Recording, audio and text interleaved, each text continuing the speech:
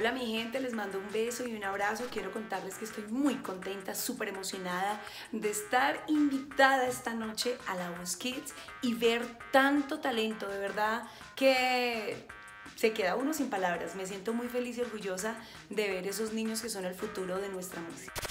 Bueno, mi papá es compositor y es cantante, de él yo heredé el talento de la música y todos los días yo lo escuchaba tocando su guitarra y ensayando y siempre me decía que ven, vamos a ensayar, pero yo quería hacer otras cosas, yo quería jugar con mis amigos, muy amiguera siempre he sido. Y bueno, pues la verdad, mi mamá me inscribió en un concurso, en una emisora en la ciudad de Palmira, en ese tiempo vivíamos en Palmira, y pues había un concurso que yo no me lo podía perder, había muchos niños participando y yo tuve la oportunidad de, de estar allí, de ganar ganarme ese concurso y desde allí mi familia empezó a ver el talento que yo tenía y las ganas de cantar.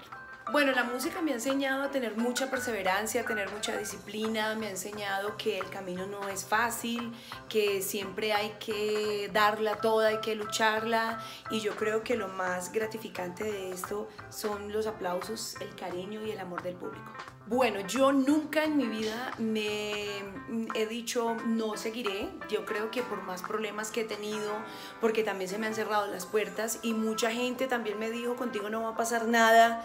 Eh, de pronto cuando cuando, bueno, hay gente que de pronto no gusta, uno no es monedita de oro pues como para gustarle a todo el mundo, pero jamás me, me, veo lejos de mis tarimas, eh, jamás me veo lejos de mi público, yo cantaré hasta que Dios me lo permite Bueno, un beso y un abrazo a todos los televidentes de La Voz Kids. Les mando un beso y un abrazo y los invito para que apoyen este gran talento colombiano. Son, ellos son el futuro de la música en Colombia. Un beso y un abrazo.